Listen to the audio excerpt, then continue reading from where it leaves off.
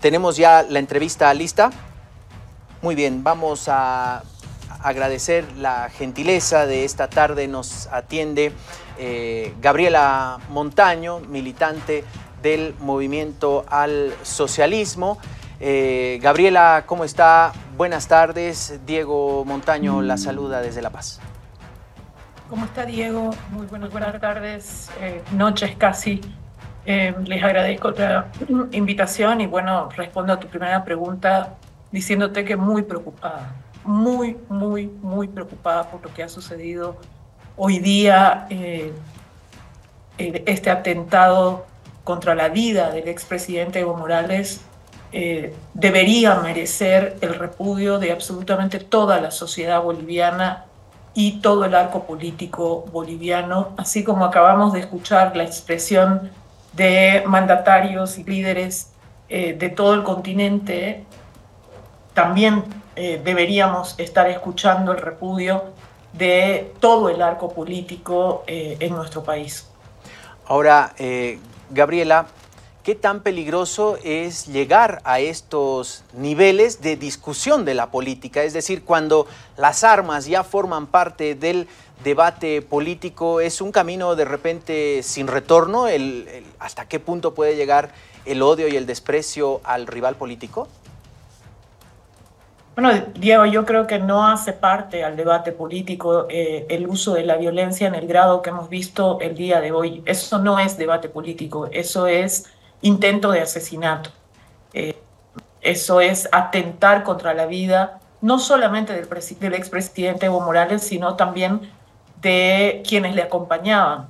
Eh, hay una persona herida fruto de, esta, de estas acciones violentas, incomprensibles, absolutamente repudiables eh, y podría, eh, podríamos hoy estar hablando de la muerte de todas las personas que iban en ese vehículo porque han sido, bueno, en los dos vehículos, eh, fueron dos vehículos los que fueron atacados. a mí me parece muy importante que la población vea las imágenes de todo el proceso completo. Hay unas imágenes que duran aproximadamente cuatro minutos, un poco más de cuatro minutos, en los que eh, no se necesita, eh, digamos, elucubrar eh, sobre la situación porque es absolutamente explícito. El presidente, el expresidente Evo Morales estaba yendo en un vehículo a las 6 y 25 de la mañana em, y fue atacado con cuatro disparos que llegaron a esa primera movilidad. Eh, como ese vehículo fue atacado y una de sus llantas fue eh, destruida, eh, ellos piden auxilio y un segundo vehículo se intenta aproximar a ellos y ellos logran llegar a ese segundo vehículo, toman ese segundo vehículo y ese segundo vehículo recibió en total 14 impactos de armas de fuego.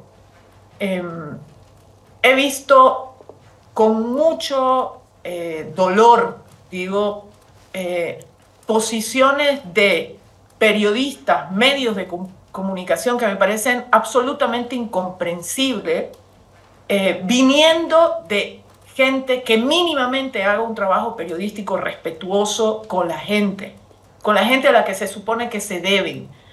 Hay periodistas que han empezado y medios de comunicación que han empezado a intentar decir esto está armado porque no coinciden, eh, el, el, conductor tiene una polera y después tiene otro color de polera, el vehículo tiene unos detalles y, eh, en esta otra imagen, el bueno, pues señores, hagan mínimamente bien su trabajo periodístico. Son dos vehículos y dos conductores diferentes. Por supuesto que hay diferencia, porque son dos vehículos y dos conductores diferentes. Me parece absurdo, realmente repudiable que haya medios de comunicación y periodistas que se presten a semejante espectáculo bochornoso, eh, Diego. Y lo tengo que decir de esa manera, porque lo que estamos viviendo es algo tan grave que pone eh, en vilo los cimientos mismos de cualquier sistema democrático. Eh, Ese es el grado de, de gravedad que deberíamos imponerle a cualquier comentario, a cualquier análisis que se haga a lo que ha sucedido hoy día en la mañana en el Chapare. Eh, Gabriela, cuando uno se pone a revisar la historia eh, reciente, no encuentra de repente algo parecido. No sé si hasta cuándo tendríamos que remontarnos para estar hablando de un intento de magnicidio contra un expresidente. Bueno, yo también he estado intentando buscar alguna referencia eh, en nuestra vida democrática en los últimos 30, 40 años y no logro encontrar una situación de la gravedad de la que ha sucedido hoy en contra de eh, un exmandatario o una ex autoridad. Em, Diego, y lo más grave de todo esto es que eh, tanto en redes sociales como en medios de comunicación han empezado a difundirse imágenes que comprometerían a la institucionalidad del Estado en estas acciones. Voy a, poner sobre la mesa dos elementos. Han circulado imágenes en las que los vehículos que fueron utilizados para atentar contra la vida del presidente Evo Morales, luego fueron encontrados en la novena división del ejército eh, de Bolivia. ¿Cómo es posible que esos vehículos que fueron utilizados para atentar contra la vida de Evo Morales aparezcan luego en un, en un regimiento militar? Si no existiera compromiso de ninguna institución del Estado en estas acciones de intento de eh, magnicidio contra Evo Morales, ¿cómo es que estos dos vehículos luego aparecen en, el, en la octava división del ejército? O sea, Gabriela, eh, ahí por ejemplo entonces esa versión que deslizó el viceministro de Seguridad Ciudadana, no se sabe si a título del gobierno nacional o a título personal de un autoatentado, se caería con esta fotografía. Volvamos a la fotografía de los vehículos dentro de la novena división del ejército, salvo que eh, eh, hablemos que controla prácticamente el ejército el expresidente Evo Morales. No, Diego, no hay ninguna posibilidad de que si estos vehículos eh, son los que atentaron contra la vida del el expresidente Evo Morales, puedan estar al interior de un regimiento militar si es que no hay involucramiento de instituciones del Estado. No hay una posibilidad. Sino porque las propias Fuerzas Armadas, el propio gobierno nacional, nos sale a explicar qué hacían estos dos vehículos en la novena división del ejército justo además en el lugar donde ocurrieron los hechos, porque el relato del expresidente Evo Morales esta mañana en la radio Causachumcoca dice que todas estas acciones de atentar contra su vida iniciaron justo en el momento en el que su primer vehículo pasaba por el frente de la, la novena división del ejército. ¿Cómo es posible que luego aparezcan esos dos vehículos en ese regimiento militar. ¿Cómo es posible o cómo se explica la salida en helicópteros de personas fuertemente armadas un momento después de que se atentó contra la vida del presidente Evo Morales de la misma pista en el Chapare? ¿Cómo es posible? si no hay involucramiento de personas que tienen, están ligadas a la institucionalidad policial o militar de este país, ¿cómo es posible que se hayan dado estos hechos? Que no los estamos relatando, los estamos, no, nadie se está imaginando eso. Son videos, fotografías que muestran esos hechos ¿Cómo explica el gobierno nacional esos hechos? ¿Cómo es posible que un viceministro de Seguridad Ciudadana, muy suelto de cuerpo, hable siquiera de la posibilidad de un autoatentado sin haber abierto la más mínima acción de investigación sobre los hechos? Es una irresponsabilidad que no tiene nombre. El hecho de que un viceministro de Estado, que por supuesto lleva la voz de un gobierno, hable de un autoatentado sin haber asomado siquiera una acción de investigación seria, concreta, que explique estos hechos. Ahora, Gabriela, eh, no sé si eh, llama la atención, pero, por ejemplo, en esta misma entrevista, en este mismo encuentro con eh, los medios de comunicación, el viceministro Ríos decía, no existe una orden de aprehensión contra Evo Morales, inmediatamente después se refiere a un autoatentado. Eh, la pregunta es, si no existe una orden de aprehensión, ¿por qué se podría montar semejante operativo en el que estarían involucrados efectivos policiales, militares, la novena división, por lo menos dos o tres helicópteros y vehículos sin placas? Bueno, eso es lo inexplicable, Diego. Y lo llamativo de todo esto es que no hay eh, un pronunciamiento público ni del ministro de Gobierno ni del ministro de Defensa en estos hechos, en los que se ven involucrados un regimiento militar de donde posteriormente esos vehículos que fueron encontrados fueron extraídos por la propia población que enardecidamente respondía a la desesperación de ver que esos vehículos eran protegidos en un regimiento militar. Eh, ¿Por qué no sale el ministro de gobierno a decirle algo al país? ¿Por qué no sale el ministro de defensa a decirle algo al país? Eh, no podemos entender que ninguna de estas autoridades explique nada de lo que ha sucedido. Me parece insuficiente, Diego, absolutamente insuficiente que se anuncie una investigación cuando no hay las garantías mínimas para que esa investigación se dé en un marco de transparencia, puesto que se han visto involucrados establecimientos que dependen de instituciones del Estado y que están bajo el mando del Ministerio de Defensa, del Ministerio de Gobierno, y que hasta ahora estos ministerios no han dado absolutamente ninguna explicación congruente.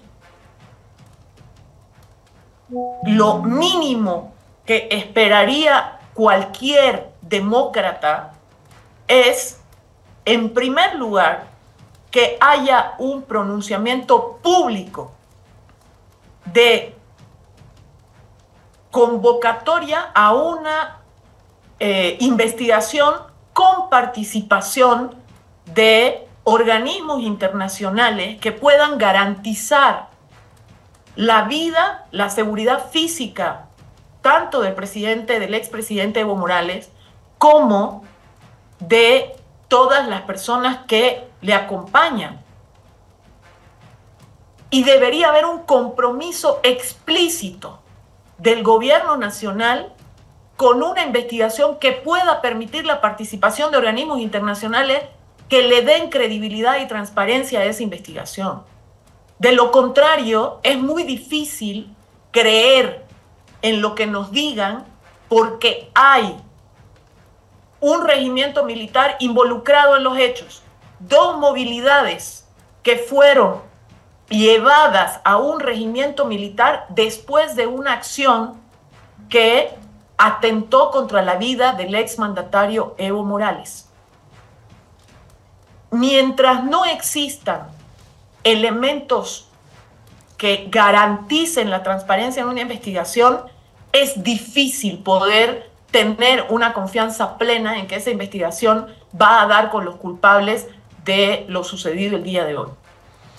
Y bueno, habrá que también preguntar al flamante alto mando militar que ayer después de las 8 de la noche eh, hubo un cambio, nombraron a comandantes de manera eh, interina, eh, qué es lo que ocurrió en un destacamento militar y además, no sé si usted tuvo la oportunidad y si no, alisten por favor la declaración de aquel oficial del ejército que está justamente en las instalaciones de la novena división del ejército de Bolivia cuando van eh, pobladores del trópico de Cochabamba eh, justamente a reclamar por qué estaban estos dos vehículos dentro de las instalaciones militares y el efectivo militar empieza a declarar que eran policías. Eh, no sé si usted la escuchó o vamos a compartir con todos, por favor, si ya lo tienen listo adentro, el, el video justamente eh, que mostrábamos hace un instante, sino eh, no sé cuál su impresión. Sí, yo, la,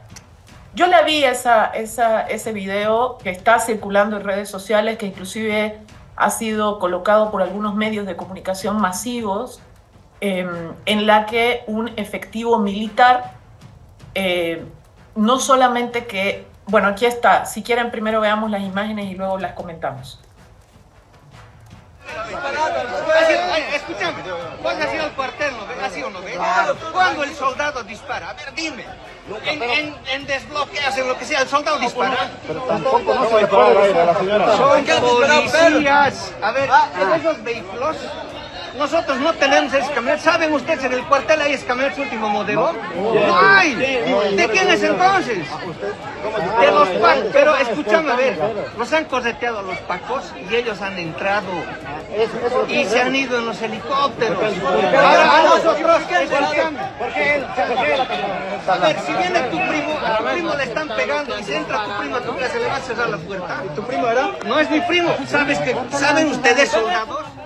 Bueno, ahí estaba, digamos, la parte sustancial de estas declaraciones. Eran policías, los estaban persiguiendo, entraron y se han ido en helicópteros. Gabriela, eh, si fuese un juicio, eh, entraría esta frase a confesión de partes, ¿no? Relevo de pruebas. Así es, Diego. Eh, no lo está diciendo un comunario de la zona, no lo está diciendo un vecino que pasaba por ahí, lo está diciendo un efectivo militar al interior de la novena división del ejército. Tres elementos que hay que destacar de este video. Primero, ese efectivo militar dice claramente que se trataba de policías, que no eran efectivos militares. En segundo lugar, dice que esos vehículos efectivamente participaron en los hechos y dice que las personas que estaban en esos vehículos, que son policías, se fueron en helicópteros. Han publicado en redes sociales también un sinnúmero de imágenes en las cuales se ve a efectivos fuertemente armados subiéndose a helicópteros eh, en el Chapare. Hay el lugar, están las imágenes, inclusive podría identificarse e individualizarse a quiénes son esas personas. Ahí tienen las imágenes. No son personas que están eh, yendo a, pasear. Miren la cantidad de armamento que llevan estas personas. Y esto sucede momentos después de que esos vehículos atacaron eh, a los vehículos en los que se trasladaba Evo Morales y fueron a resguardarse esos vehículos a la novena división del ejército. Es decir, no se trata de hechos aislados, hay una continuidad en los hechos, una sistematicidad. Por lo tanto, lo mínimo, lo mínimo que debe hacer el Ministerio de Defensa y el Ministerio de Gobierno es explicarle al país por qué esos vehículos estaban en la novena división del ejército, por qué personas fuertemente armadas se trasladaron en helicópteros luego de estos hechos que atentaron contra la vida del presidente eh, Evo Morales. ¿Por qué? No hay ninguna explicación hasta ahora, Diego. Han pasado dos, más de 12 horas y el gobierno no explica absolutamente nada. No me parece serio que una investigación se anuncie en un tuit y no tenga absolutamente ninguna acción consecuente con ese tuit. Eh, no se ha iniciado ningún, eh, ninguna acción de investigación. No ha salido ninguno de los ministros que tienen que ver con las áreas de defensa y de gobierno a explicarle a la población absolutamente nada.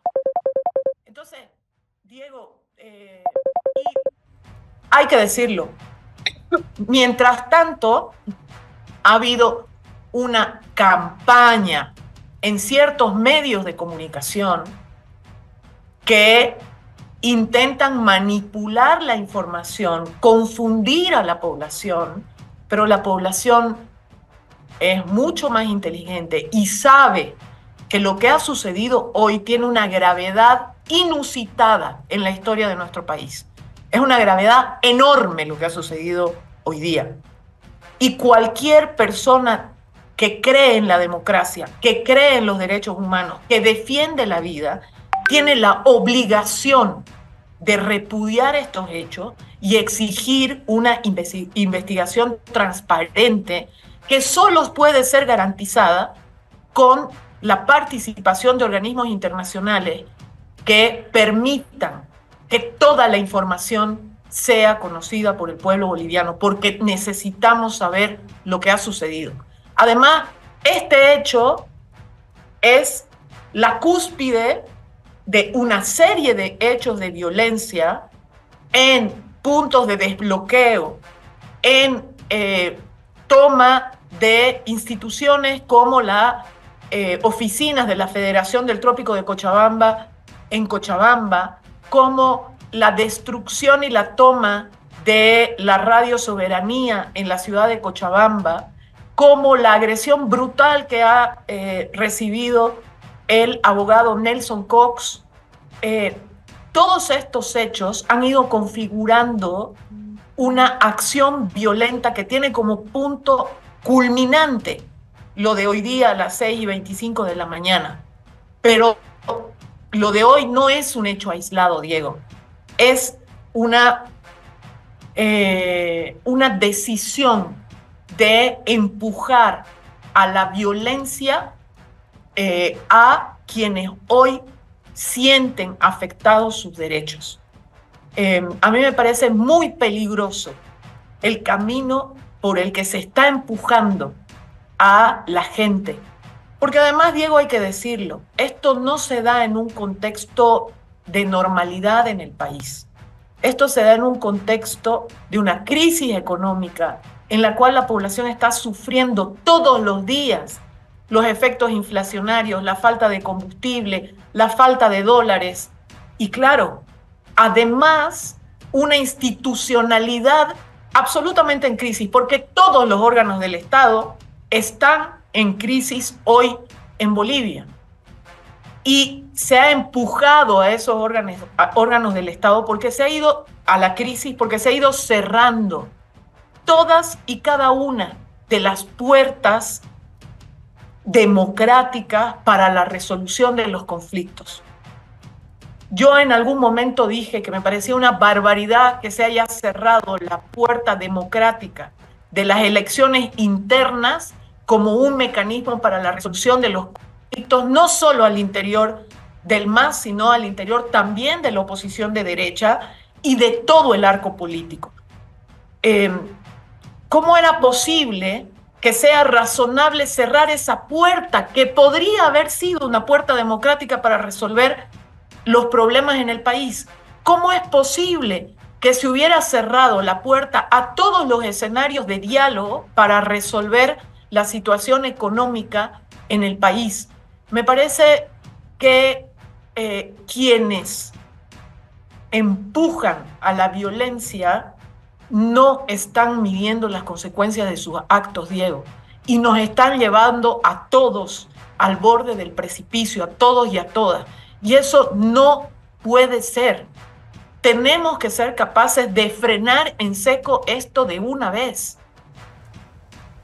Eh, Gabriela, estaríamos, interpretando sus palabras, estaríamos poniendo este tipo de acciones ponen en riesgo la democracia como tal en el país, porque si empezamos a hablar de desaparición física de personas por las ideas que profesan, más aún un exmandatario, estaríamos retrotrayéndonos por lo menos hace 50 años en lo que ocurría en la década de los 70 en Bolivia.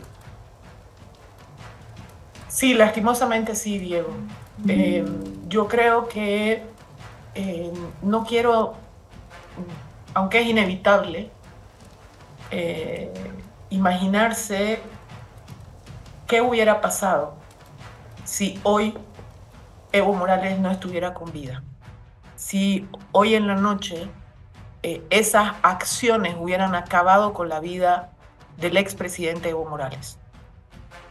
Em, yo creo que es casi milagroso que el presidente Evo Morales y la gente que lo acompañaba estén con vida hoy. Eh, las imágenes hablan por sí mismas. Podría, hay cientos de momentos de esos cuatro minutos de filmación que han sido publicadas y difundidas ampliamente hay decenas, cientos de momentos de segundos en los cuales eh, podrían haber perdido la vida todas las personas que iban en esos vehículos. Todas las personas, incluyendo por supuesto al expresidente Evo Morales. Es eh, absolutamente injustificado. Eh, no hay nada que pueda justificar una acción de este nivel de violencia, de eh, locura, porque no puedo llamarle de otra manera. No sé quién se puede imaginar que con una acción de este nivel de violencia puede eh, resolverse los problemas en el país. Lo único que hace esta violencia es generar mayor dolor, mayor bronca en el pueblo boliviano. Porque lo que ha sucedido hoy con Evo Morales no ha sucedido con él como persona, ha sucedido con miles, millones de personas en Bolivia que se identifican políticamente con Evo Morales. Em, y esas personas hoy, en este momento, podrían estar llorando la muerte de Evo Morales. Y hay que decirlo así, aunque suene durísimo, aunque eh, nos duela eh, todo, cuando lo decimos así, esa es la realidad. Yo, Diego, creo que quienes están detrás de estas acciones no han medido ni por un segundo las consecuencias de esas acciones. El odio ha cegado a ciertos sectores que creen que se puede justificar de alguna manera las acciones que hoy se dieron en contra de la vida del expresidente Evo Morales. Gabriela, quiero agradecerle este tiempo eh, que se ha tomado para conversar eh, con nosotros. La vamos a estar convocando más adelante. Esta noticia que sin duda alguna ha ocupado los titulares de los principales medios de comunicación a nivel internacional y el repudio de gobiernos de la región y de instituciones y eh, grupos eh, que justamente repudian partidos políticos, como el caso del partido gobernante en México, Morena, que repudia este tipo de acciones. Eh, muchas gracias, Gabriela. Hasta cualquier momento. A, ustedes las gracias, Diego, a Viayala. Eh, y si me permites 10 segundos más, eh, yo convoco a volver a la razonabilidad. Esto ha cruzado todos los límites de lo razonable, todos los límites de lo democrático, todos los límites de lo que la mayoría en el país ve como eh, posible. Yo convoco desde Aviala a que se den las garantías a la protección de la vida y la integridad física del expresidente Evo Morales, a que se garantice una comisión de organismos internacionales para la investigación transparente de estos hechos y pido que se abstengan la policía, las Fuerzas Armadas de cualquier acción que ponga en peligro la integridad física de los bolivianos y las bolivianas en los puntos de bloqueo, en cualquier lugar donde se encuentren. No podemos estar dispuestos a derramar sangre en el país. Esto ha cruzado los límites de lo posible y por lo tanto necesitamos que se repare de manera inmediata. Yo te agradezco, Diego, el espacio eh, y convoco a la reflexión, a que nos miremos hacia internamente, hacia adentro y sepamos y hagamos y actuemos en consecuencia de que no estamos dispuestos a que acciones de este tipo continúen en el país y que todos y todas pongamos nuestro granito de arena para frenar lo que ha llegado a un punto que no podemos eh, más que repudiar, rechazar y denunciar. Gracias, Diego. Muchas gracias. Eh, Gabriela Montaño estuvo en contacto con nuestro medio de comunicación.